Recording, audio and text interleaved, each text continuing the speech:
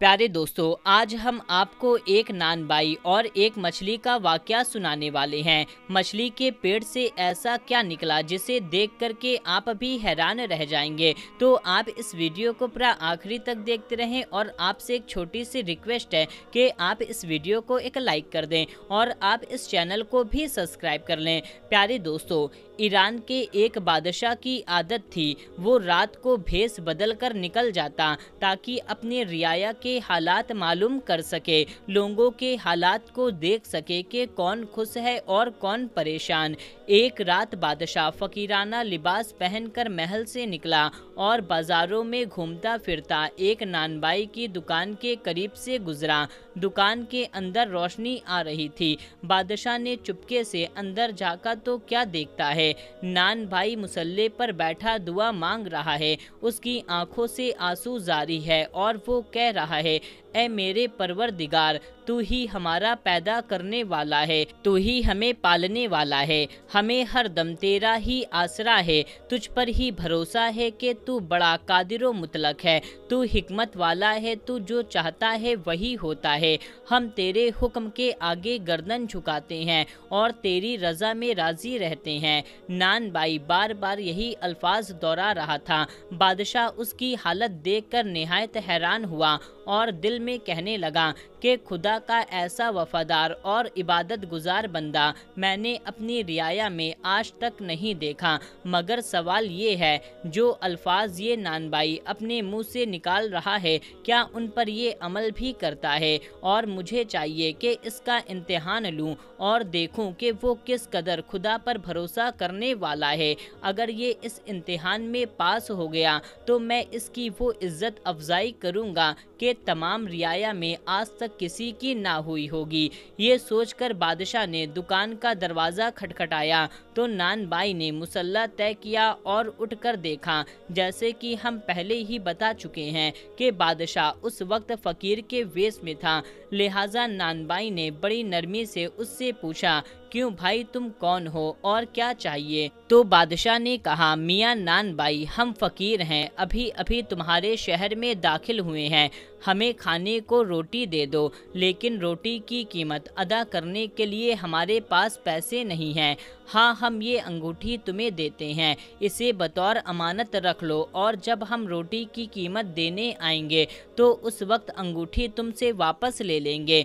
नान by ने कुछ कहे बगैर अंगूठी लिया और एक रोटी फ़कीर को दे दिया और फ़कीर रोटी लेकर दुआएँ देता हुआ वहाँ से चला गया। नान बाई ने फ़कीर के सामने ही वो अंगूठी अपने रेजगार वाले संदूक में बेपरवाही के साथ डाल दी। अगले दिन सुबह होते ही बादशाह ने वज़ीर को हुक्म दिया कि फला मोहल्ले में एक नानबाई की दुकान है। दुकान पर जाओ और उसके रेजगारी वाले संदूक में हमारी अंगूठी रखी है। किसी तरकीब के साथ उसे निकाल करके लाओ और हाँ खबरदार उस नानबाई को इसके बारे में कोई शको सूबा ना हो के अंगूठी कहाँ गई है। बादशाह का हुक्म सुनकर वज़ीर ने दो सिपाहियों को साथ लिया और उस बाज़ार में जा पहुँचा, जहाँ नानबाई की दुकान थी। उसने दुकानदारों के आसपास देखना शुरू कर दिया और कहा कि हमें ये इल्म हुआ है कि बाज दुकानदारों के बाट दुरुस्त नहीं है। वो ग्राहकों को कुछ चीज़ को कम तौल करके देते हैं। वज़ीर इसी तरह से मुआयना करता हुआ नान बाई की दुकान पर आया। उसके बाट को देखा, वो सब के सब सही थे। वज़ीर ने कहा, मियाँ नान बाई, तुम्हारा वो तराजू कहाँ है जिसमें तुम आटा तोलते हो? नान बाई ने जवाब दिया, वो तराजू तो दुकान के पिछले हिस्से में रखे हैं। मैं अभी हाजिर करता हूँ। ये कहकर जैसे ही नान बाई पिछले हिस्से में गया तो वज़ीर ने फुर्ती से नान बाई की रेसदार वाला संदूक खोल करके बादशाह की अंगूठी उसमें से निकाल ली और अपनी जेब में रख ली। इतने में नान बाई तराजू लेकर आया। वज़ीर ने यूँ ही सरकसी तौर पर तराजू को देख कि तुम्हारे बाट और तराजू बिल्कुल ठीक ठाक हैं। फिर वज़ीर ने बादशाह को अंगूठी ला कर दे दी। बादशाह ने अंगूठी अपने उंगली में पहन ली। फिर एक गुलाम को भेजा के नानबाई को बुला करके लाओ। नानबाई उसी वक्त बादशाह के सामने हाजिर हुआ और ये देख कर के हैरान रह गया कि ये तो वही शख्स है जो पिछली रात फकीर के वेश में मेरे पास आया था। बादशाह ने कहा, मियाँ नान बाई माफ़ कर देना। पिछली रात हम वेश बदल कर तुम्हारे पास आए थे और रोटी के बदले में अपनी अंगूठी गिरवी रख कर चले गए थे। अब मेहरबानी करके अपनी रोटी की कीमत ले लो और हमारी अंगूठी वापस कर दो। ये सुनकर नान बाई भागा भागा अपनी दुकान में गया और रेजदार वाला संदूक को खोलकर देखा तो उसमें से अंगूठी गायब थी और वो उल्टे कदम वापस आया और बादशाह से अर्ज़ करने लगा, जहाँ पना, वो अंगूठी आपके सामने मैंने उस संदूक में डाली थी, लेकिन मालूम होता है कि कोई चोर ने उसे चुरा लिया। मैं आपके सामने हाजिर हूँ, जो सजा कहेंगे, वो सजा भुगतने के लिए मैं तैयार हूँ। नान बाई की बात सुनकर बादशाह ने गुस्से में कहा, क्या अंगूठी नहीं है? ज़रूर तुमने झूठ बोल रहे हो। देखो, मैं तुमको दस दिन का वक्त देता हूँ। दस दिन के अंदर मेरी अंगूठी पेश कर दो। अपनी रोटी की कीमत ले लो। अगर इस मुद्दत तक तुम अंगूठी पेश करने से कासिर रहे तो तुम्हारा सर कलम कर दिया जाएगा। अब तुम यहाँ से जा सकते हो। नान बाई ने कहा, खुदा हर सह पर कादिर है और मुझे उसकी जात पर पूरा भरोसा है। वो मुझे रुसवा नहीं करेगा। इनशा अल्लाह आपकी अंगूठी दस दिन के अंदर अंदर पेश कर दूँगा। ये कहकर नान बाई ने सलाम किया और वहाँ से रुखसत हो गया। बादशाह को उसके इतमान और सुकून पर अजब ताजुब था।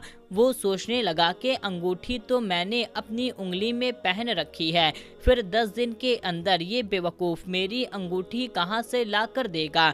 इस बात को आठ दिन का अरसा गुजर गया। नान बाई ने अभी तक अंगूठी पेश नहीं की थी। नब्बे दिन बादशाह ने शिकार का इरादा किया और जंगल में निकल गया और एक हिरन के पीछे अपना घोड़ा दौड़ा दिया। वो हिरन भागता हुआ दरिया की तरफ़ चला गया। बादशाह ने उस हिरन का पीछा किया। एन दरिया के किनारे बादशाह के घोड़े ने ठोकर खाई और बादशाह कलाबाजी खाकर दरिया में जा गिरा। बड़ी मुश्किल से वो हाथ पाँव मारकर दरिया से बाहर निकला और किनारे पर आया। बादशाह के हाथ कीचड़ से भर गए थे।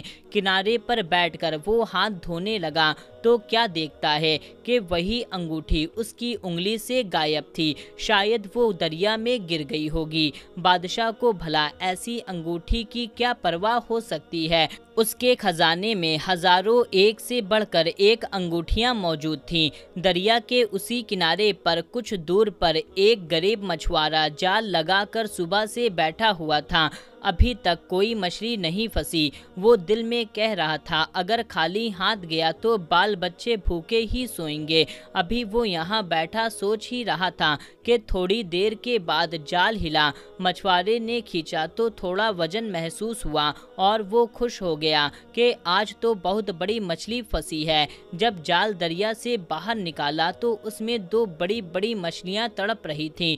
मछुआरों की खुशी का कोई ठिकाना ना रहा। उसने सोचा कि मछलियों की अच्छी कीमत मिलेगी। और वो उस मछली को बाज़ार में ले गया। जब वो ताज़ा मछली ले लो, ताज़ा मछली ले लो, ये आवाज़ लगाता हुआ बाज़ार में पहुँचा तो नानबाई के कान में मछुआरे की आवाज़ आई। उसने अपनी बीवी से कहा, अरे ओ नेक वक्त, मछली खाए कितने दिन हो गए हैं। जरा जाकर इससे मछली तो खरीद लो। उसकी बीवी ने जुजला कर कहा, आठ दिन गुजर चुके हैं। और बादशाह की अंगूठी अभी तक नहीं मिली। दो दिन के बाद जल्लाद तुम्हारा सर कलम कर देगा और तुम्हें खाने की सूझ रही है। बीवी की बात सुनकर नान बाई ने कहा, अरे ओ नेक वक्त अल्लाह पर भरोसा रखो। अगर मेरी ज़िंदगी बाकी है तो अंगूठी ज़रूर मिलेगी। दुनिया की कोई ताकत मेरा सर नहीं कलम कर सकती। फिर उसकी बीवी ने मछुआरे को आवाज़ दी और उससे दोनों मछलियाँ खरीद ली।